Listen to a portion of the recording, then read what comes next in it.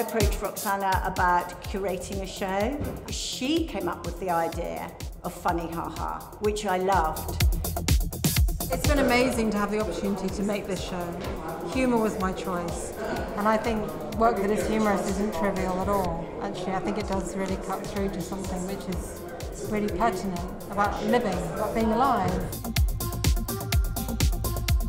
So all of the artists tonight are incredible. And I think we know that we exist as a society because artists show us who we are. I mean, what it'll do to the public is untellable. I just hope enough people see it. I love this exhibition. It's actually hilarious. I just really like art that has humour. Usually everything's all dead serious and arty, isn't it? And the fact that this is art and it's funny, it's brilliant.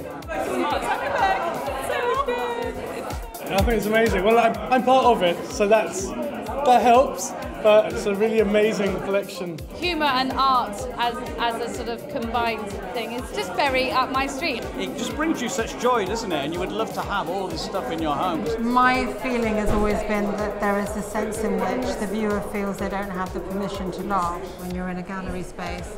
And over and over again, people have been saying, I felt I had license to laugh. I felt that I was free to laugh, I was free to enjoy this, enjoy the moment, and, and re respond to the works in a very immediate way.